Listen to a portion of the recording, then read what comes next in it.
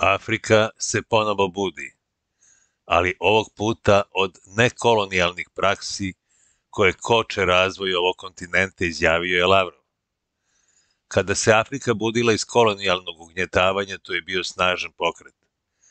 Imam osjećaj da Afrika sad prolazi kroz drugo buđenje ovog puta od neokolonijalnog ugnjetavanja, od praksi koji koče njen razvoj, kada sav visoki tehnološki stepen obrade ostavljaju van ovog kontinenta, ostanjajući ga da zadrži podređeni položaj.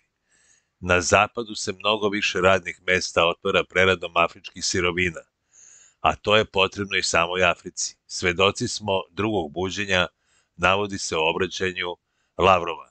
Prema rečima ministra na posljednjoj ministarskoj konferenciji foruma, partnerstva Rusija-Afrika, mnogi su govorili da afrički kontinent želi da ima dostojno, ravnopravno mesto u sistemu međunarodne podele rada.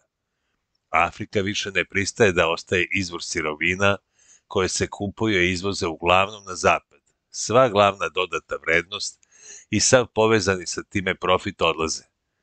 Konferencija Foruma partnerstva Rusija-Afrika održana je od 9. do 10. novembra saveznoj teritoriji Sirius koja se nalazi u blizini Sočije. Pritisnite subscribe ili prati.